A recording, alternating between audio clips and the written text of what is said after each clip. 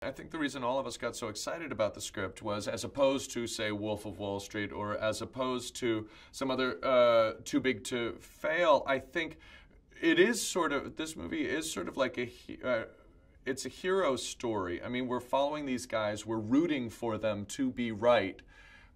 Uh, that the bubble's going to burst, that these awful, evil banks and predatory lenders are going to go under. And if they do, then we win. But if we win, it means everybody loses in the country. It means that Main Street uh, is wiped out and foreclosed on. And uh, the movie carries both of those things at the same time.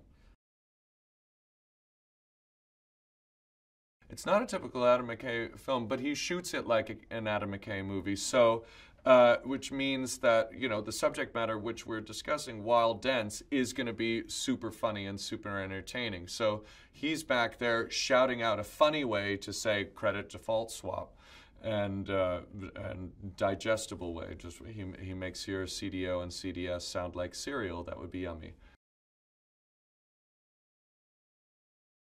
He uses this technique where we'll be in a scene like this, and then I'll go like this to you and say, I'm Hamish Linklater, and I have no idea really what I'm talking about in this movie. And then I'll go back into the scene and pretend like I do know what I'm talking about in this movie. It's a real privilege to be in a socially conscious movie.